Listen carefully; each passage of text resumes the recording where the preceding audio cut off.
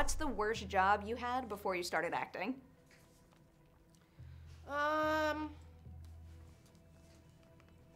I didn't have a lot of jobs before acting, but I, I had a couple crappy ones in high school. I had one at a, a like a pizza restaurant where I had to um,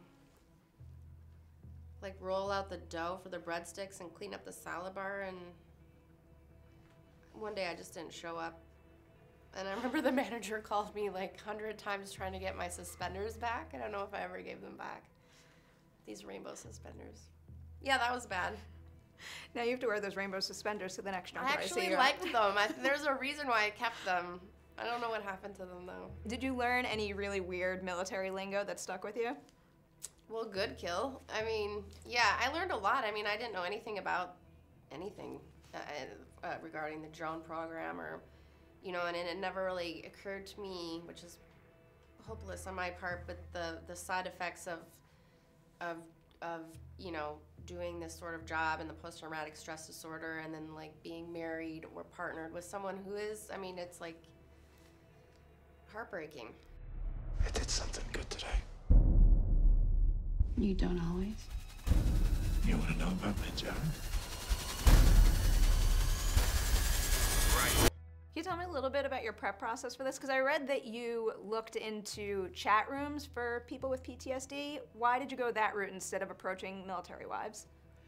Well, Andrew had uh, a lot had done a lot of research for us and gave us options. Um, he had two drone pilots come in and talk to everyone who was working on that side of the movie, and for me, he had a lot of just printed out information about post-traumatic stress disorder, and then I just went online and found like I kind of eavesdropped on some chat rooms and stuff.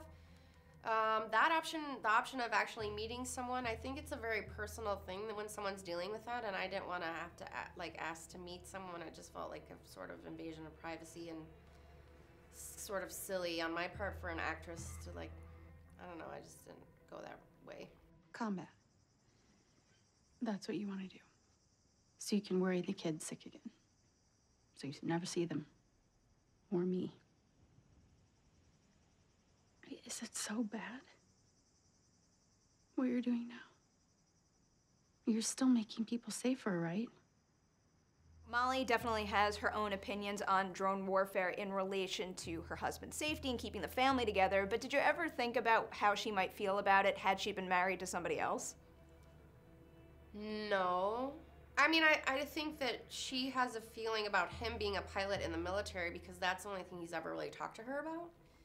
Um, I think their marriage was a lot better when he would go away and then come back. And now that he's here and he's, you know, his his whole persona's been stripped of him, I think that there's no communication anymore, and he's very sad. Um, substance abusing substances and just a, like a shell of a human being, and um, she's just fighting, trying every technique she can think of to get him back, whether it's being sweet or being nice or trying to enter into conversation to starting fights with him or whatever she can do. And I think that um, it, it's like dealing with an addict. Like she goes through so many steps to try to get him to stop, and the only thing she can do at the end is to leave. And she's lucky that he, you know, that that, that shakes him enough. Does he ever get angry? Almost never. What happens when he gets angry? It's more quiet. I am a pilot, and I'm not flying. I don't know what it is that I am doing, but it's not flying.